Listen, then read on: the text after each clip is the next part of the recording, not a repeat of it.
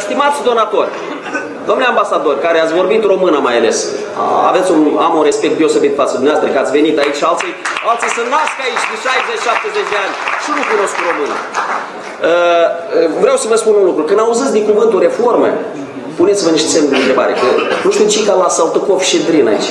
Când se vorbește despre patriotism sau reforme, cuvinte de este mai, știți că undeva se fură. Păziți-vă de cuvântul reformă. Noi trebuie să mergem de continuitate. Legile care le avem noi în Republica Moldova, ele sunt foarte bune. Noi trebuie să le aplicăm. Trebuie să ne lăsăm în pace să lucrăm ca lumea și noi să vedeți că, că noi facem din țara asta o țară într-adevăr europeană. Dar cuvântul reformă, v-am spus, păziți-vă de el, că el nu-i cel mai... Asta e, asta e pentru cineva care mai trebuie un sac 2 de bani sau să mai scoată. Că cât noi vorbim aici, cred că cineva mai târâi de undeva de Republica Moldova, un sac 2.